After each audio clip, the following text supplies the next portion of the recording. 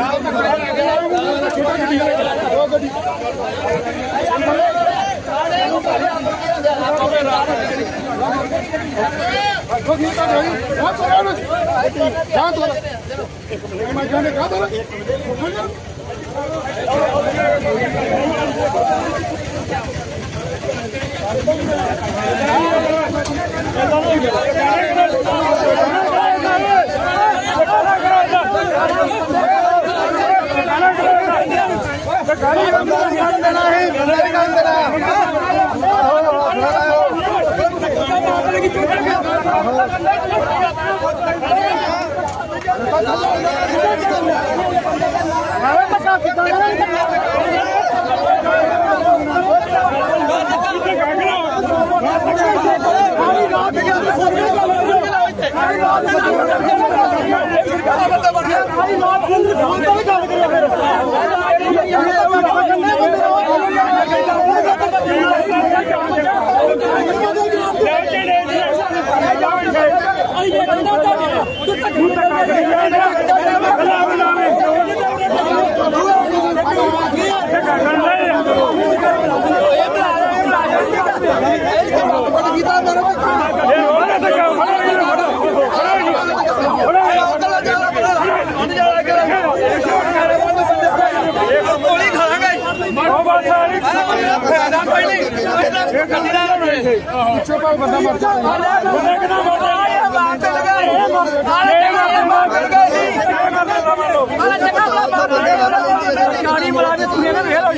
ਉਹ ਵੀ ਸਰਕਾਰੀ ਮੁਲਾਜ਼ਮ ਹੈ ਉਹ ਵੀ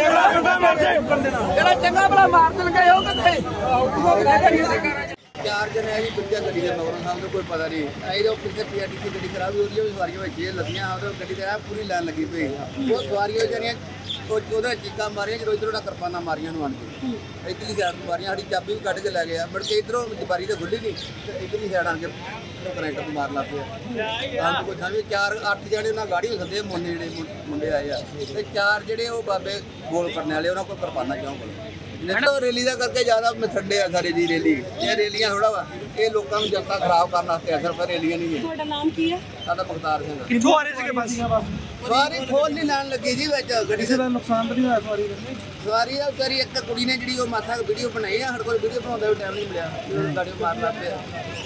ਬਸ। ਬਸ ਆ ਕਿੱਧਰੋਂ ਰਹੀ ਸੀਗੀ ਜੀ? ਦਿੱਲੀ ਤੋਂ ਆ ਰਿਹਾ ਜੀ ਦਿੱਲੀ ਤੋਂ ਆ ਰਹੀ ਸੀ ਦੇਖੋ ਕੋਈ ਪਹਿਲਾਂ ਵਿਵਾਦ ਹੋਇਆ ਤੁਹਾਡਾ ਉਹਨਾਂ ਨਾਲ ਜੀ ਕੁਝ ਕੁਝ ਇੱਥੇ ਸਵਾਰੀ ਕੋਈ ਪਹਿਲੀ ਗੱਲ ਤਾਂ ਹੋਣੀ ਹੈ ਜਾਂ ਜਲ ਗਈ ਹੋਣੀ ਆ ਉਹਨਾਂ ਪੁੱਛ ਲਓ ਜੀ ਸਾਡੀ ਕਿਤੇ ਵੀ ਗੱਲ ਹੋਈ ਹੋਵੇ ਰਾਤ।